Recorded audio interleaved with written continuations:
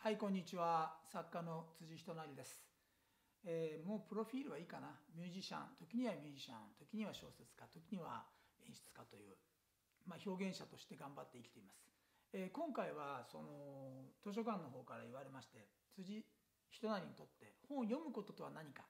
皆さんに語ってくれということで。そうですね。まあ本を読むという僕は小説家なので小説を書くということと小説を読むということがちょっと書くと読むっていうのは息を吸って吐くみたいな感覚なんですよ。だから皆さんはずっと息を吸い続けてる状態が本を読むということで僕はそれを書くために小説を書くために息を吐き出しているという感じですかね。でなぜそれができるかというと僕が若い頃皆さんぐらいの頃もっと前かな、えー、ある日本屋に入ってこれが本だみたいな。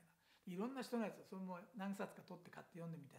そこにねその作家の人たちのこう哲学とか思想があるんですよ。考えてることが。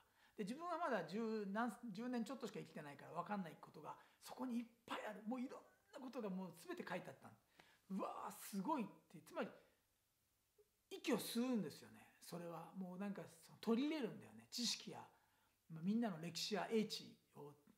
まあ、こう A という作家 B という作家辻という作家が書いたものを読み取ってへえって。もうそれがもう本当に体の中に入ってきて10代の頃にたくさん本を読んだ。そして僕は30歳から小説家になるんですけど今度そこから吐き出してるんですよね。バーって。正直言いましょう。30歳過ぎてから本読まないです。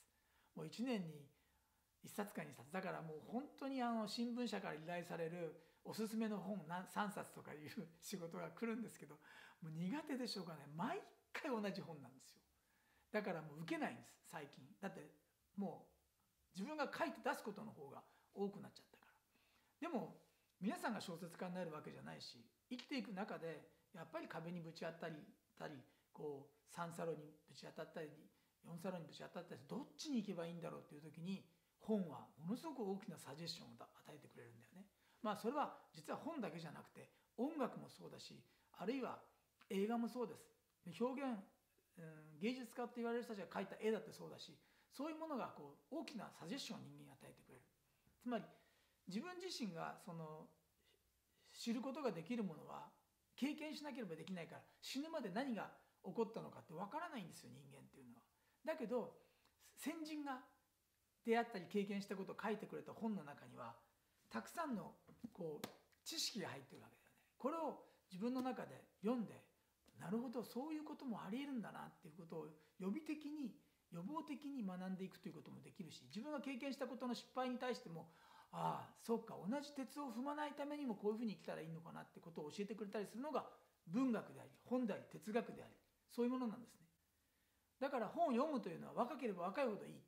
若ければ若いほどいいビタミン剤なんです。栄養なんです。自分の生きる糧にしてください。自分の生きる杖にしてください。